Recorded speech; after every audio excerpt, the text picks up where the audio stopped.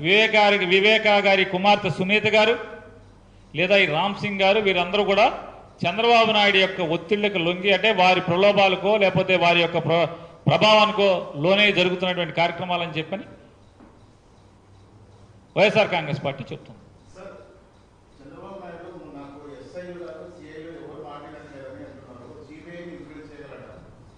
అర్థం కాలేదు? అర్థం కాలేదు ఏమని? ఎగనెస్ట్గా ఉండటం ఎందుకు వ్యతిరేకంగా ఉంటారు పోలీసు యంత్రాంగం.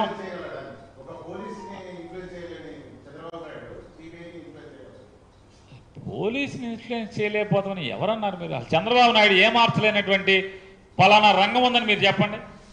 అతను నోరు తెలిసి చెప్పండి ఒక నిజం చెప్తే కదా చంద్రబాబు నాయుడు గారి జీవితంలో ఒక నిజం చెప్తే చాలామంది పెద్దలు మాకు మా తండ్రి కానీ చాలామంది చెప్తారు చంద్రబాబు నాయుడుకి ఒక శాపం ఉంది.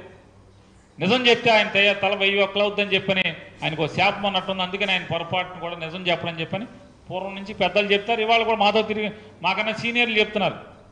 ఆయన జన్మలో నిజం చెప్పడం నిజం చెప్తే తలకాయ పగిలిపోద్దని శాపం ఉన్నట్టుంది ఆయనకి అని చెప్పి చెప్తుంటారు. ఆయన నోట్లోంచి పలానా నిజం చెప్పాను ఒకటి చెప్పండి. ఒక్క నిజం. ఏముంది?